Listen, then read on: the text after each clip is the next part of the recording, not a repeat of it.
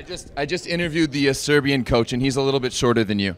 Christian, that was incredible. Thank you. Great match. Happy end. Yeah, absolutely.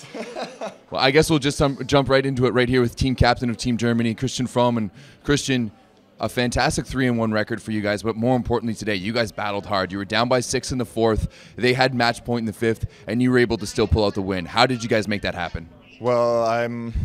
I still have no real answer to that, but I think we, we always believed in our team and we had uh, good substitutions and uh, we took back the momentum and we of course we were a little bit lucky, but you need that as well. And uh, I'm, I'm really happy about this week and with these guys what we achieved. Yeah. You guys had the ability to get a lot of guys in. Um, Maase, in particular, really impressed me. How important is it to kind of get some new guys into the system and, and new guys playing with the, your core German guys? Uh, well, for, for our future, it's very important, um, and it's especially for Maase nice that he can now with this new role play like this, and uh, yeah, but also the new guys they push really hard every practice, so it's it's really nice that they can also join us in the court, us as experienced players, and I'm looking forward to the next weeks. You guys, uh, as I said before, you guys finished three and one here in Ottawa. This is the third time you guys have been in Ottawa. Do, do, do you like coming here? Is this, is, is this a bit of a good luck charm for you guys? Well, now this time it was. Uh, the other times I think we, we didn't play that well, and uh, I'm happy now that we, we could win three games, and we also had, in my opinion, a chance to win all four. But anyway, I'm really really happy, and uh, I hope we can continue like that. What kind of expectations does this German team have for throughout the rest of the VNL, but then also looking at the World Championships in the fall?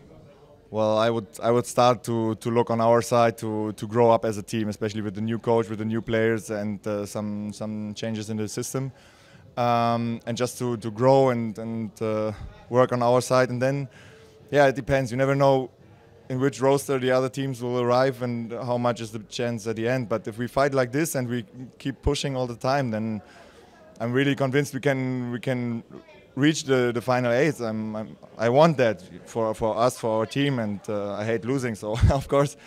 Um, but we have to make still small steps. We are not favorite against any team, so we just have to work hard. And uh, for the World Championship, we, we will see. It's still a long way to go. We have to work still on many things. Um, and we will see in which, which kind of team from us, for how many players we have, and uh, who will be there you yourself, you played with for two kind of struggling teams this year. First at Cons, then at then at Vibo Valentia.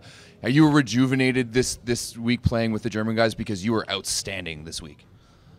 Uh, except against Argentina, um, but no, no, it, it, was it was a good week, and I'm really happy about my performance. But it's not possible without the guys. So um, I'm looking forward to to help the team like that, and uh, yeah, after this season, it, it was really hard. Um, to come back in, uh, on a level where I really am am satisfied with myself because it's yeah I, I, always have the highest goals and and yeah I know even today I had moments where I was not not not uh, the best but at the end it counts that, that we achieved as a team what we did.